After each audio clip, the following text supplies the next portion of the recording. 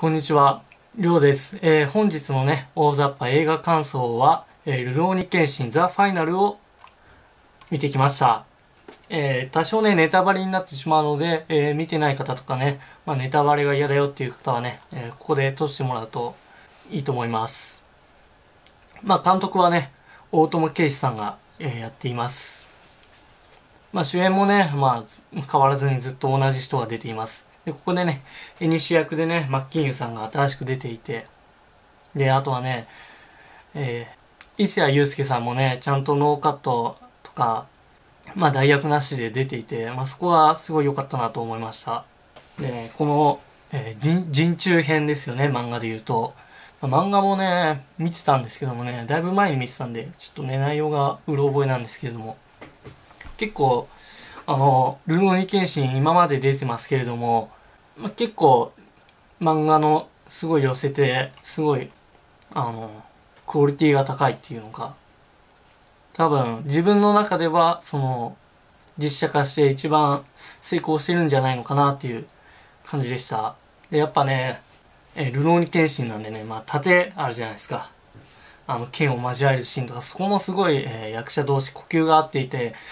まあ、そこも見どころですね。で、まあ、やっぱワイヤーアクションとかもすごいあって、まあ、そこら辺はね、まあ、ワイヤーアクション使うのは当たり前なんですけど、ルーンシン見てる方ならね。で、やっぱそのスピード感っていうのも、戦いのスピード感もすごいいいし、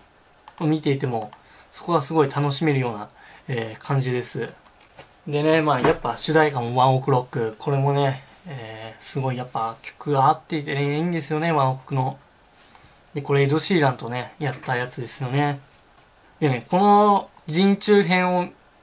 だけ見てでもね、このまあ、前作と多少は繋がってるんですけど、これだけ、えー見ても楽しめるしね、次にね、あの、6月にやる、あの、映画、えーっと、ザ・ビギニング、ビギニングでしたっけ？そうですね、最終章ザ・ビギニング。これをね、見た後でもね、これね、楽しめると思うんですけど、まあ多分、やらないですよね。多分これが終わってから、多分最終章になるんでね、その、最終章のザ・ビギニングもやりつつ、これも多分放送しないのかなっていう。で、まあこのザ・ビギニングもね、その謎の、その十字傷のなる元が、ですよね、確か。なんで、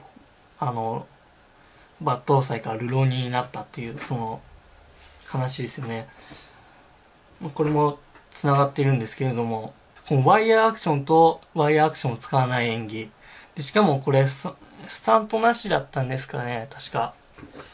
で、これもね、ワイヤーシーンとワイヤーシーンじゃないシーンがね、どこかわからなかったっていうのがね、ありますね。だからそのくらい、まあ、アクションシーンがすごい素晴らしかったと思います。でやっぱね、あの、ヤフーの映画とか見てた星がね、もう4とか、他のところで3.5とか、そんくらいありますね。まあ、結構高評価ですよね、この映画は。まあ、その